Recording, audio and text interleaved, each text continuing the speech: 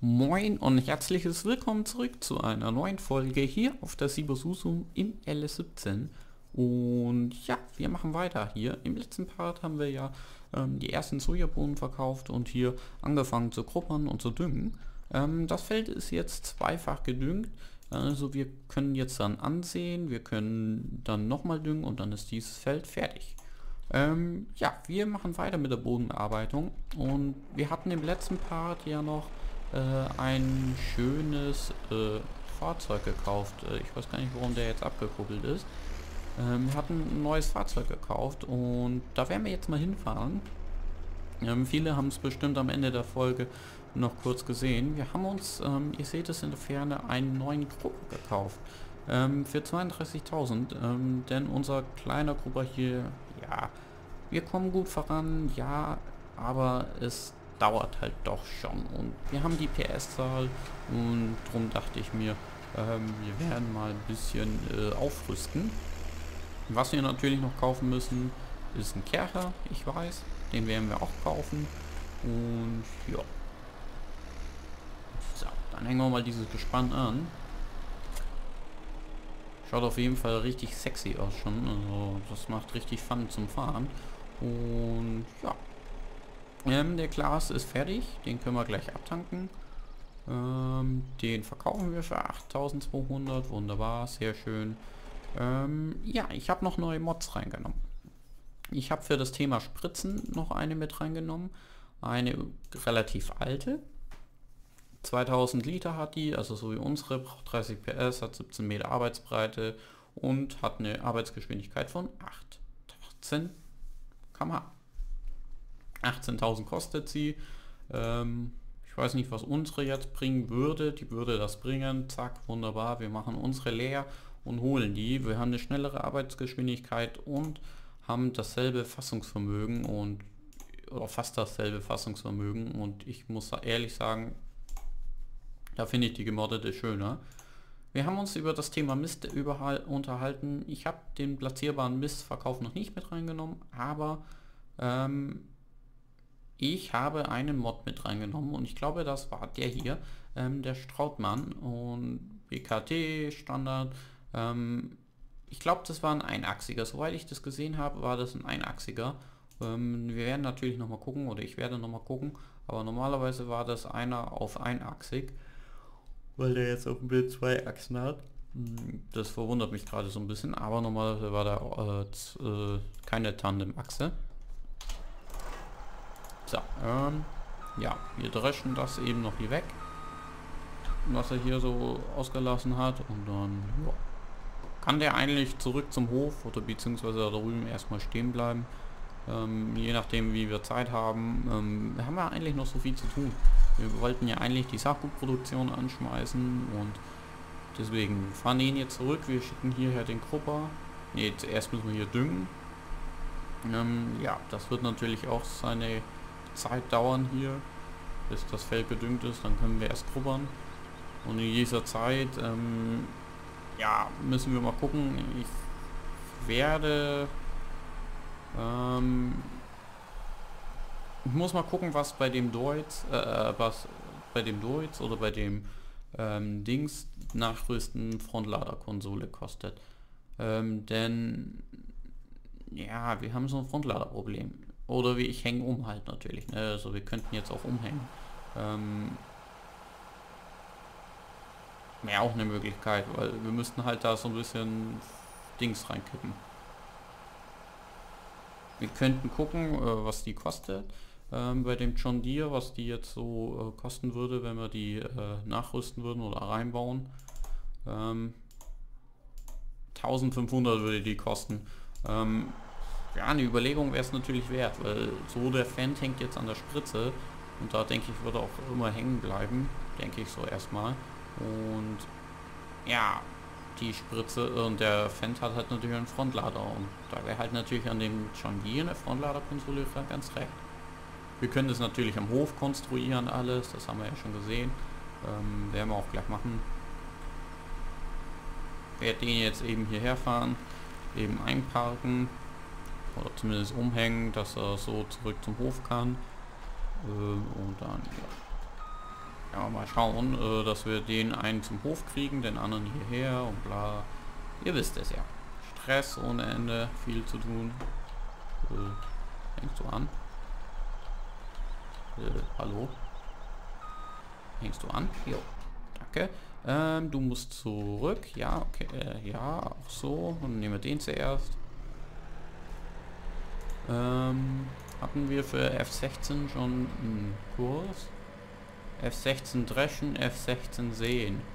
Aber kein F16 düngen. Ja gut, äh, dann machen wir das mal. Düngen sehen. Ähm, das ist Feld 16, hat diese Arbeitsbreite doch nur äh, 15 Meter, oder? Wie viel hat die? Weiß es gerade echt nicht, aber könnte mit 15 Meter hinhauen. Mhm. Ja, okay. Ähm, ja, okay, gut, passt. Ähm, bla bla bla. Startposition das. Wir machen zwei Vorgewendebahnen und ja, generieren. Ähm, ja, okay. Wir müssen da was eben ändern. Der kann keine zwei Vorgewendebahnen machen, weil sonst fährt er da irgendwo gegen die Hauswand. Jo, okay. Das äh, schaut schon besser aus. Let's go. Äh, wir sehen uns.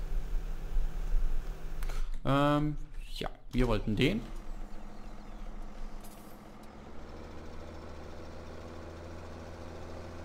Dann fahren wir mit dem jetzt mal zurück eben. Bis der hier fertig gedüngt hat. Äh, vergeht eh eine Ewigkeit. Wenn er jetzt schon mal die ersten paar Bahnen hat, dann können wir ja auch ihn starten lassen zum Grubbern, aber er muss halt jetzt eben seine Vorgewendebahn da ziehen und dann schaut das schon gut aus. Ähm, ja, der John Deere fährt sich eigentlich äh, ja, schon besser mit dem Gewicht muss ich sagen. Also das Gewicht ist schon ein bisschen besser verteilt.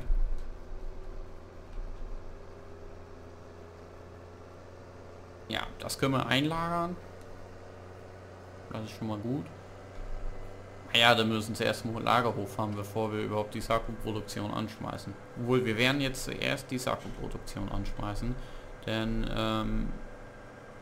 Nee, war... Ähm, äh, ich bin gerade am überlegen so ein bisschen alles. Ähm, mir fällt die Geschichte mit dem Soja wieder ein. Ähm, es gibt ja diesen Hof mit Bauer Lürs Soja und dieser Bauer Lürs kann der nicht für uns Schweinefutter produzieren, das wir später dann für unsere Schweine holen?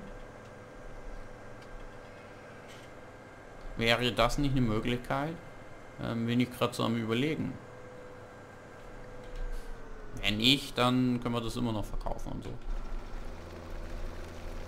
Ähm, ja, wir hängen den hier mal ab, äh, den hier ab.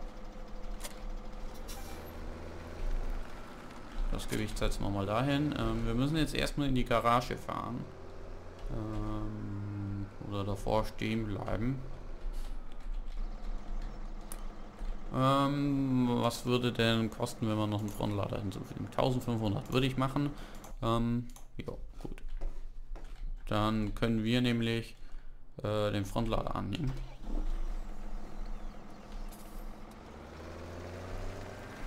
Mm, ja, wir müssen jetzt noch mal den Drehschemelanhänger da reindrücken irgendwie. Wir wollten das ja eigentlich mit einem anderen Anhänger machen, aber ähm, ihr seht es ja, äh, der ist voll mit Soja oder beziehungsweise halb voll. Obwohl der Metal-Tech hinter dem John Deere schaut auch geil aus. Also so farblich schaut das geil aus. Hm, hm. Können wir den nicht vorne anhängen? Man kann ihn ja eigentlich leichter vorwärts reindrücken. Jo, okay, gut geht. Äh, ja. Erstmal umdenken.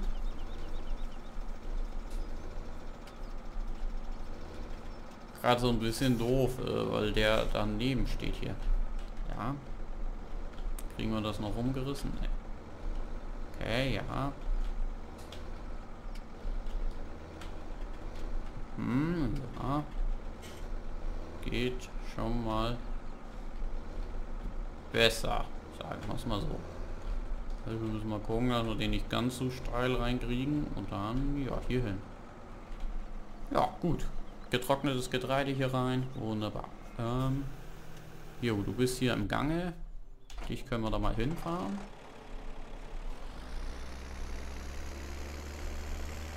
Dann gucken wir mal, äh, mit wie viel kmh er sich dahin quält.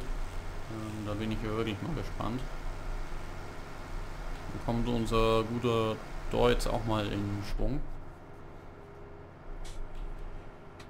Mit 6 Meter Arbeitsbreite, jetzt rabbelt es in der Kiste. Wenn wir jetzt noch ein paar Tausender mehr haben, dann äh, so 25.000 mehr oder so, dann können wir uns äh, die Seemaschine holen und dann äh, geht die Party erst richtig ab.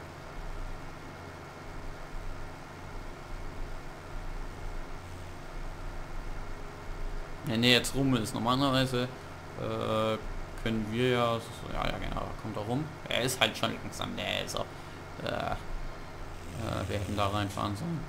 Ähm, normalerweise kann der jetzt grob am Beginn. 6 Meter Startposition hier, zwei Vorgewendebahnen.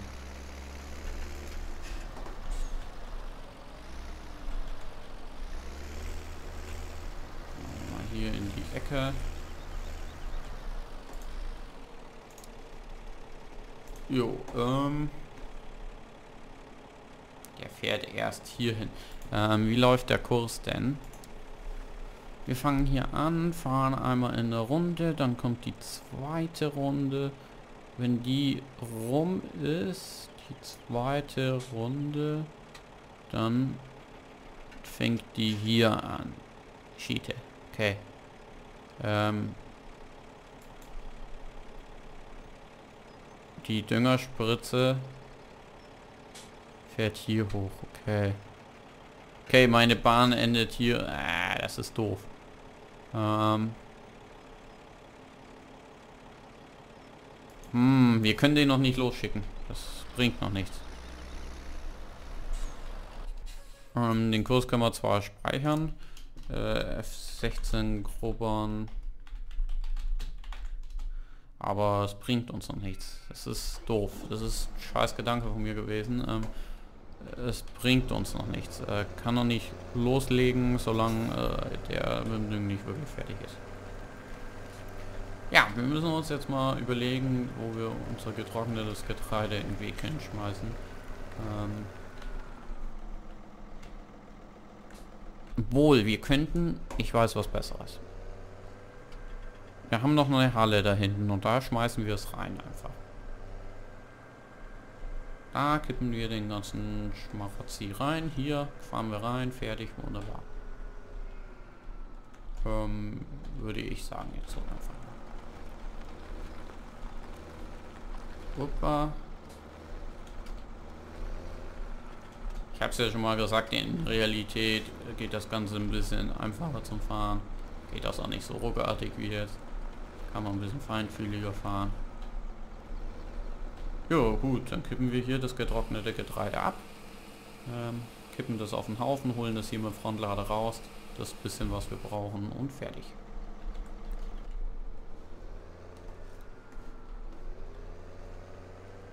So, versuchen wir mal hier in der Runde zu fahren. Das klappt nicht. Scheiße, das klappt nicht. Äh, ich dachte, ich komme hier in einem Zug äh, rum und kann den da reinstellen gleich. Gut, fahren wir hier rein. So, jetzt den Frontlader dran und dann kann die Party eigentlich starten hier. Natürlich ein Fanfrontlader, ich weiß, passt jetzt nicht ganz so hin. Aber ähm, es bringt gerade nichts. Äh, Tor. Ähm, die Beize müssen wir hier hinstellen. Jo, okay. Flieg schon mal weg. Das ist äh, sehr gut. Jo, wunderbar. So, die Beize ist da. Ähm, gut, dann werden wir eben eine Schaufel voll holen.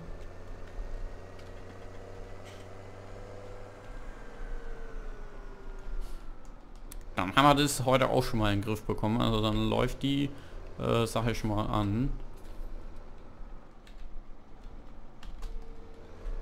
Ah, eine ganze Schaufel getrocknetes Weizen. Dann können wir schon mal Saku produzieren, dann läuft dies. Ja, das Spritzen sollte auch laufen. Da werden wir dann im nächsten Part anfangen zu grubbern. Und dann ja, läuft die ganze Luzi. Hier liegt schon ein Sack. Der war ja schon da. Ähm, ja. Yeah. Chandier ist eindeutig zu groß hier rein. Aber gut. Und schaut auch witzig aus, schon die mit, äh, ja. Ich sag da mal nichts so. Äh, ja. Schaut äh, witzig aus auf jeden Fall.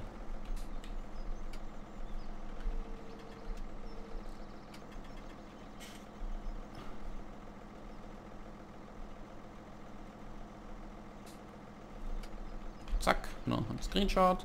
Äh, und dann, ja, läuft die Luzi hier schon. Zack. Können wir hier mal lagern. Äh, müssen wir uns mal äh, überlegen, wie oder was wir uns da machen. Den stellen wir erstmal hier hin. Äh, wie wir das dann machen und so. Mm. Ja, du musst hier erst anfangen, bevor wir hier weitermachen können. Dann können wir dich nach Hause fahren.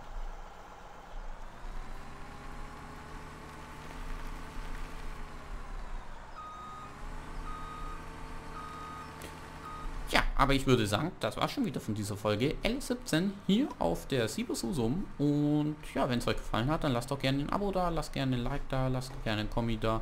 Und ja, ich würde sagen, wir sehen uns beim nächsten Mal wieder. Tschüss.